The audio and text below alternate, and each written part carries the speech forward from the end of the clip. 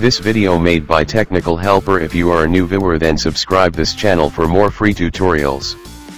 Hello everyone, in this video I show you how to install Kali Linux 2017.1 with dual boot. Now open your web browser and open this website. This website link in description. You need to choose ISO file according to your hardware and create disk using ISO file. Now open my computer and click on manage and now click on disk management. Now you need to delete one partition uh, on your hard disk to install Linux 2017.1 insert Linux 2017.1 bootable CD and easily start your computer. Now open boot menu using this key. Now select your CD drive now choose graphical installation. Select your language and click on continue. Select your country and click on continue. Select your keyboard layout and click on continue. Now click on continue. Now click on don't configure the network at this time and click on continue.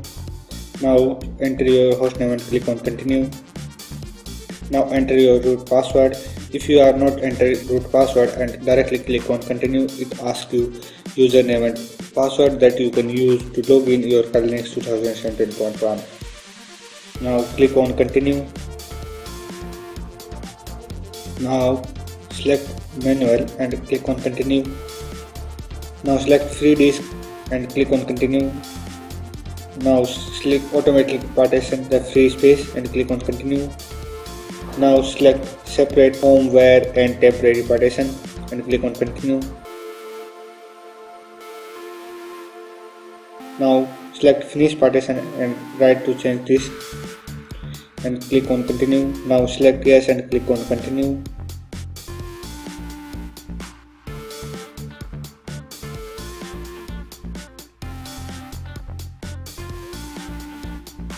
Now select no and click on continue.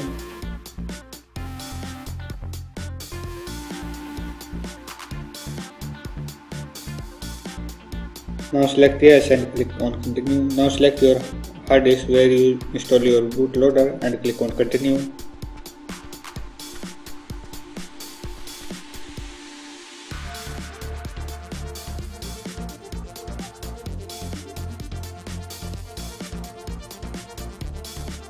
Now click on continue. After this process your computer is restart and you can see two operating system on your bootloader Kali Linux and Windows 10.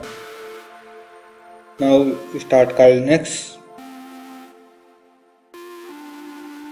Here Kali Linux is installed. Now restart your Kali Linux operating system and try to start Windows 10.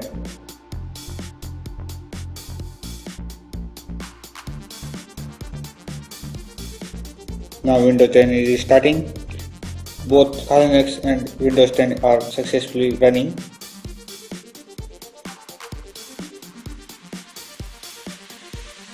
Now goodbye have a nice day. Like this video and comment your questions and don't forget to subscribe.